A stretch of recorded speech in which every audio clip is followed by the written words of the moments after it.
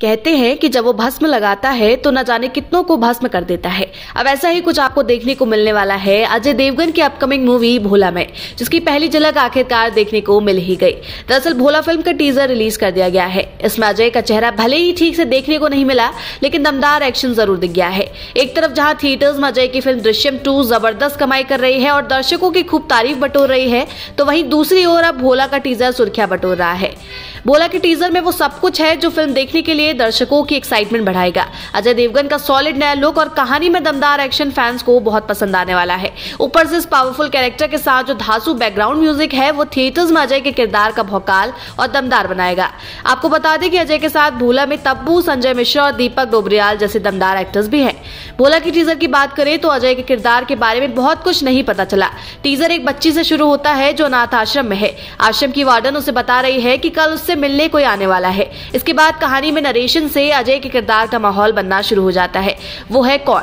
Frame में jail में बैठा एक आदमी गीता पढ़ता दिखता है और फिर नरेशन बताता है कि उसके जेल से बाहर निकलने का टाइम आ चुका है। पीछे से आपको सुनाई पड़ता है, कौन है, कहाँ से आया है, किसी को पता नहीं और जिसे पता था वो बचा नहीं। अजय का चेहरा टीजर में नहीं रिवील किया गया है, मगर जेल से निकलते आदमी की चाल देखकर कोई भी बॉलीवुड फ़ैन पहचान लेगा कि अजय है। एक आदमी की आवाज़ में आपको सुनाई पड़ता है। जब वो माथे पर भस्म लगाता है तो न जाने कितनों को भस्म कर देता है। जब एक दूसरा आदमी पूछता है कि उसका नाम क्या है तो जवाब मिलता है, नाम बताया तू पैरों के नीचे से ज़मीन निकल जाएगी। आपको बता दें कि भोला तमिल में बनी हिट फ़िल्म कैथी का रीमेक है, जो किरदार अब अजय निभा रहे हैं।